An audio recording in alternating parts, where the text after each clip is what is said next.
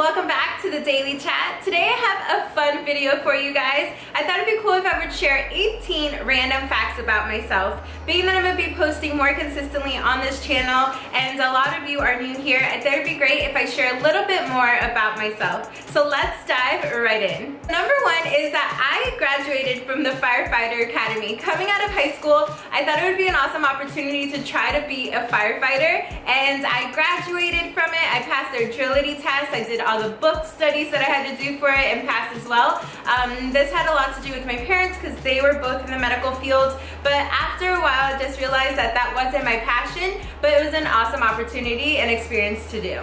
Number two is that my love language is words of affirmation and quality time. Number three, my favorite flower are hydrangeas. And I have some right back there.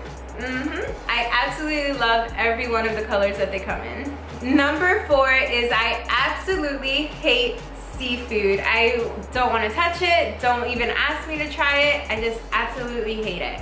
Number five is that I have my associate's degree in elementary education. When I was in college, I decided that I wanted to, to pursue being a teacher and I absolutely loved the experience, but it wasn't for me and I later on decided to get another degree in business. Number six was that I was in a sorority in college. I absolutely loved it. I was a part of Phi Sigma Sigma and to this day I still am great friends with a lot of my sisters. Number seven, a little bit of a shocker, but I know how to drive stick shift. It's actually how I was uh, raised with my father, how I learned to drive a car, and it's one of the ways that I actually got the interest of my husband. Number eight is that I've been a vegetarian for three years. Number nine is that I absolutely hate certain vegetables. I'm the pickiest vegetarian because I only really love a handful of vegetables.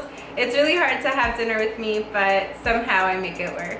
Number 10 is even though I'm Latina, I'm from Puerto Rico, I could not dance to save my life. My husband has to literally tell me what steps to take if we're dancing together, but you guys, it's a learning process every day. Number 11 is that I one tattoo and it's of an umbrella and this is because I had started a nonprofit organization called Share the Love and the mission statement was to spread kindness through the use of umbrellas. If this is something you want to hear a little bit more about, make sure to comment down below and I'd love to make a video all about it for you guys. Number 12 is that I have never lived on my own until I got married and that was at the age of 30.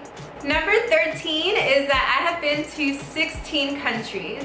Number 14 is that I do not like watching movies more than one time. If I already know how it's gonna end, why am I gonna watch it again? Number 15 is that I can eat veggie tacos every day of the week if you let me. I absolutely love cheese. I will put it on anything I can if I could get away with it. Um, I especially love cheese with honey. I learned about this a while back and it's one of my favorite snacks. Number 17 is I absolutely love the water but hate the ocean. I'm a pool girl hands down. And the last one is number 18. I have a absolutely horrible memory. I have to jot everything down. If I don't, it pretty much is not gonna happen or I will not be there because it will just slip my mind. So I have to make sure to jot it down.